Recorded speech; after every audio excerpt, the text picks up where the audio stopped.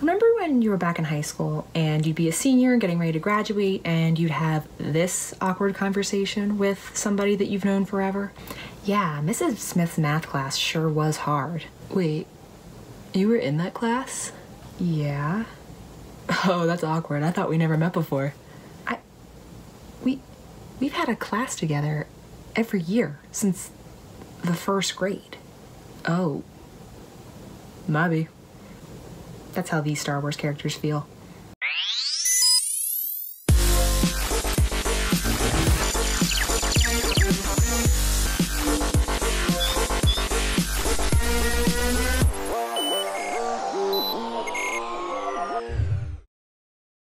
The Star Wars universe is compiled of so many different characters, some of which are recognizable by pretty much anyone on the street, whether it be Darth Vader, Princess Leia, Yoda, or anyone of that sort. However, there are plenty of characters that even the most hardcore fan doesn't know that much about. These are their stories. Don't say we didn't have female representation in the prequel films when we had Yaddle. Okay, but despite her 17 total seconds of screen time, Yaddle has a pretty extensive history behind her. Most of that is of Legends past, if you will, thanks to the implementation of the Disney canon, but there are traces of it that remain in true. In Legends, Yaddle had a rough go of it as a Padawan. Her master, Pulven Kut, was murdered right in front of her on a failed mission to liberate the enslaved planet of Koba. She was tortured and then held captive for over a century in solitary confinement, after being forgotten about altogether, if not terrorized by the people there. When various earthquakes allotted her the chance of escape and she saw daylight for the first time, she opted to help the people of Koba rebuild their society and felt empathy other than malice towards them, as most of the people were the victims there too. Over the time of her captivity, she did nothing but revisit her old master's training and literally survived on the Force obtaining true unity. When she returned to the Jedi on Coruscant, pretty much everyone unanimously agreed to promote her to the level of mastery and offer her a place on the Council, even if she was still technically a Padawan. Everyone but Yoda. But believe it or not, he's not king of the Jedi and eventually backed down. She was known for her overall wisdom and compassion. One really cute tidbit is that the younglings would perform pranks and tricks, she would often turn a blind eye and sneak them treats in their pockets. It's the kind of humanity that I think the Jedi were scarcely in need of. Not to mention, she's the only known Jedi with an orange lightsaber, because she's just that cool. I demand a Yaddle option at Savi's workshop. Her death was one of bravery, dying by using the Force to absorb an entire bioweapon, thus saving an entire city as well as Anakin and Obi-Wan in the process. Her death is actually what opens up a spot for Shaak Ti to join the Jedi Council as we see in Attack of the Clones. In canon, as I said, a lot of these characters are considerably streamlined now thanks to the new canon not yet going into these characters' past. But Yaddle was still a Jedi Master on the Council as we see in The Phantom Menace. There actually isn't much explanation as to why she isn't on the Council anymore in Attack of the Clones beyond her simply choosing not to take an active stance in Jedi affairs. Shockingly enough, her design originally came from a design for Yoda in the prequels. I know, Surprising stuff. One news story somewhat involving Yaddle is in Darth Vader Dark Lord of the Sith number 25, where Vader is trying to bring his deceased wife Padme Amidala back to life, and he encounters apparitions of the Jedi Council, including Yaddle. Of course, he slaughters each of these visions, including Yaddle, by stating, Let the past die. Where have I heard that before? Time to let old things die. She was still known for her kindness and compassion and took on many apprentices such as Master Oppo Rancisis. Which, if you're wondering who he is... Oppo Rancisis is a slightly more canonically showcased character than his master Yaddle, and boy do I mean slightly.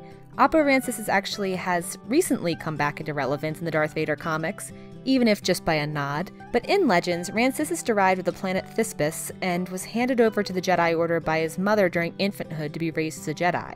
When his sister was murdered by terrorists, he was offered the throne, as his family was the Blood Monarch of Thisspias. But he declined in order to continue down the Jedi path. He was notorious for being incredibly strategic and was a skilled tactician, often spending more of his time on Coruscant alongside Yoda to better plan out their courses of action and was utilized for military advisement.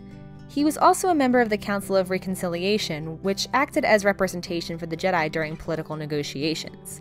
He met his fate when he discovered the turned Jedi Sora Bulq was conspiring with Dooku with the Separatists and went to square down for five months of constant battle, eventually stabbed in the back. Literally. Most of his origins remain the same in canon, with his being handed over to the Jedi Order as a baby and trained by Yaddle and declined the throne of his homeworld in favor of becoming a Jedi. He continued to serve on the Council throughout the Clone Wars and makes a few background appearances on the show, as well as in some deleted episodes of the Clone Wars. In the recent series of Vader comics, it was revealed in number 19 by one of Vader's Inquisitors that there's a full list of Jedi still lingering about. The list is shown via hologram and is flipped backwards, but one of the names on the list is actually Oppo Rancisis, meaning he survived the initial Jedi Purge. Whether or not this is just a funny little nod that will never be revisited or a hint at something more in the comics, it still begs the question of how Rancisis survived and what he's been doing all this time.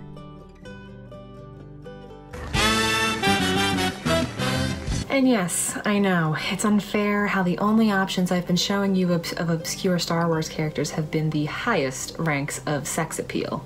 Sorry, not sorry. This pretty lady seen in the background of Return of the Jedi in Jabba's palace is Yarna Dal Gargan. There's more to Yarna than being originally unreleased in toy form due to her having three sets of boobs and Kenner believing parents might find that immoral. It's fine, one was released in 2008 anyway. Don't worry. In Legends, Yarna evidently translates to pretty in basic, and she supposedly was very pretty before being enslaved by the Hutts.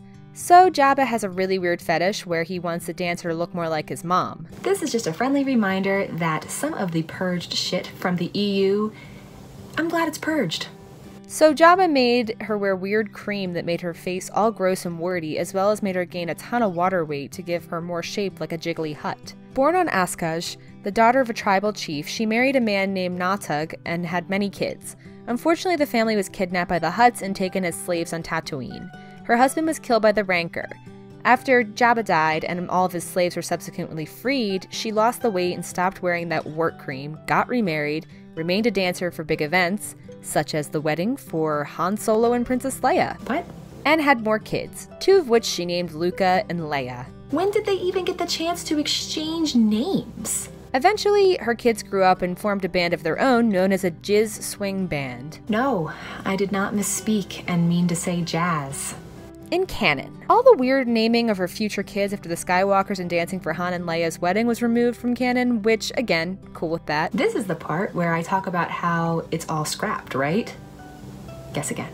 However, they did choose to leave the idea that she puts wart makeup on and gains a lot of weight per Jabba's orders to make her look more like his mother. I just can't get over how insulting this is. Like, imagine you're an actress and you get cast as an extra in Return of the Jedi, which was supposed to be the last Star Wars movie at the time, and you get to be in Jabba's scene where you're dancing around and stuff. And you know, before, the only explanation was that's a dancer.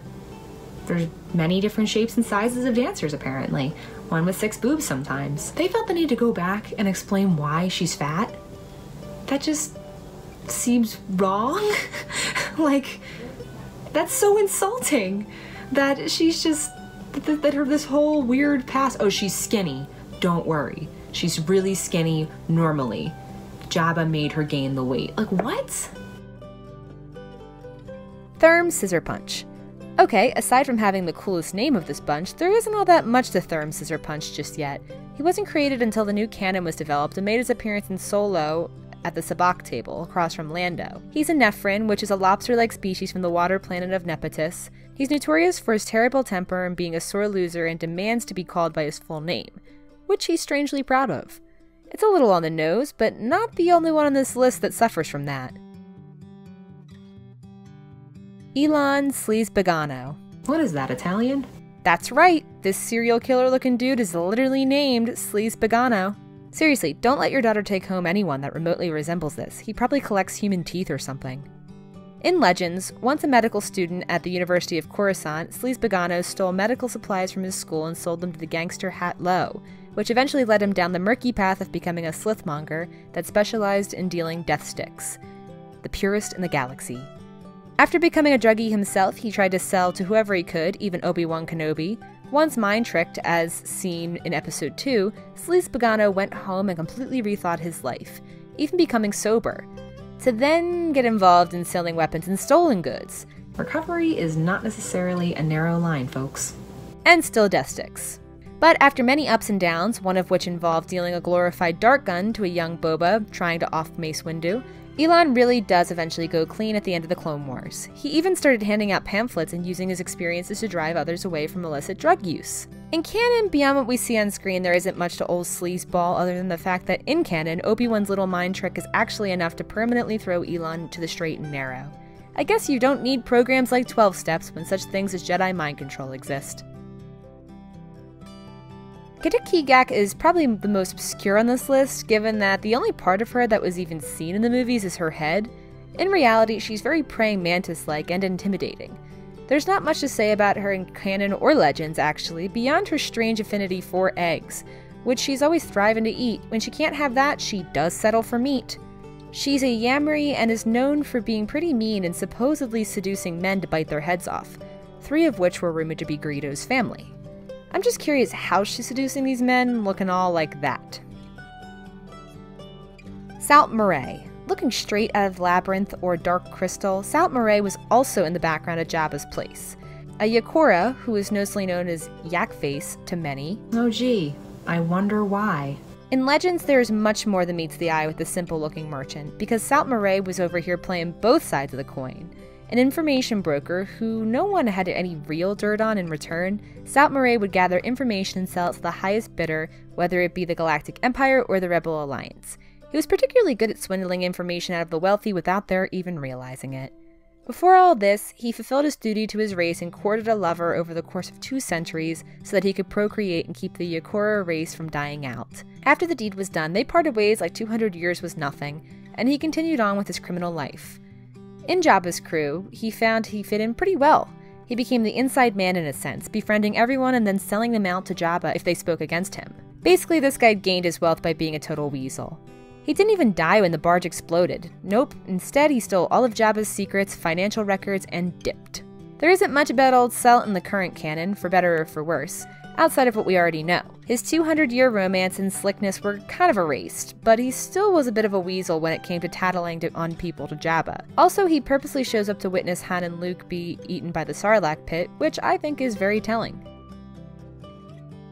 Chairman Papanoida. Maybe this one is a bit unfair, as viewers of the Clone Wars might recognize him from the episode Sphere of Influence, of which he plays a pretty significant role. But there is a fun twist to this one that is the fact that his live action counterpart is actually played by George Lucas in Revenge of the Sith. At the Opera House, where Anakin and Palpatine hang out and watch bubbles pop, or something along that lines, they brush by Papanoida, and it's none other than the creative Star Wars playing him. In Legends, Papanoida was originally a humble playwright who blossomed into an entertainment mogul eventually using the mass attendance of his plays to gain intel. He played a certain level of mystery to himself, which would later make him seem shifty in nature. Many questioned his allegiance to the Republic and debated if the only entity he served was to himself. He was able to maintain his position of chairman after Palpatine forged the Galactic Empire, as he'd always kept his opinions on the former Chancellor to his chest. He did oppose the Emperor, though, but continued to be silent on the matter. In canon, Papanoida is a powerful, recently sworn in figure from the moon Pantora. His daughters are kidnapped, and he enlists the help of Padawan Ahsoka Tano to assist in recovering them, but they soon realize it's the Rodian Greedo who is responsible. Papanoida would do anything for his family and holds a blade to Greedo's throat and convinces Jabba the Hutt, of all things, to assist him. No, I didn't just frantically start mashing buttons. That is his God given name. I wonder how many name tags he took up on, like, the first day of school. Just a whole chest of name tags. Good news about Pao is that this is all canon, because he wasn't created until Rogue One debuted. The Galactic Empire negatively affected a lot of planets and left a lot of people hurting. One of the many planets was an amphibious planet called Pipada, which is Pao's homeworld. On Pipada, the only way to pursue trades like engineering was to go through the channels of the Empire. Pao, who was totally fed up with the tyrannical dealings of the Empire and the effect it had on his homeworld, set off to join the Rebel Alliance and build ships for them. However, his engineering background on Imperial ships made him the perfect candidate for knowing how to dismantle them on the battlefield, which is exactly what he ended up doing. Pao could understand Basic, but found it hard to properly string words together in Basic with his wide, flat mouth. Instead, he usually just muttered curses in his own native tongue. Sadly, alongside the rest of the Rogue One crew, Pao fell in battle during the Battle of Scarif, which he was an asset for with his wide understanding of Imperial structures. Last but not least, we have the greatest hero of the Star Wars saga. Actually, in maybe any saga ever. Ice cream machine guy.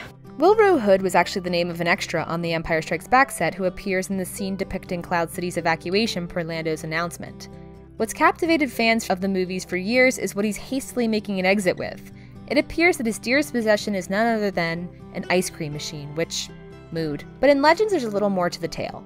Willrow Hood was a miner whose company was sympathetic to the rebellion and sold much needed Tibanna gas to the rebellion when needed. Hood monitored the company's main computer, which had a ton of important contacts in it, as well as code names or passwords. You know, spy stuff. This became difficult when Imperial spies started creeping about, one by the name of Tian Chyler, who stood to make Hood's life really hard. He couldn't necessarily prove that she was trouble, but his suspicions were confirmed when she contacted Vader after discovering the underground Tibanna business. It is because of this that Vader had leverage over Lando to blackmail him into assisting the Dark Lord with his planned trap for Luke and company. When the Empire fully came to Cloud City, Hood realized that it wouldn't be long before they discovered the mining company's main computer, and thus all the rebel contact code names would be found. So he stuffed it in an inconspicuous waste container and went on the run with it, unbeknownst by anyone, because everyone thought it was an ice cream machine. And there you have it. More Star Wars characters to add to your repertoire of knowledge, some of which you probably didn't care to know about at all. Sorry. May the Force be with you, and you have a good day. Got sweat leaking out of the fake not setting the trend. We never listen to them. It's like.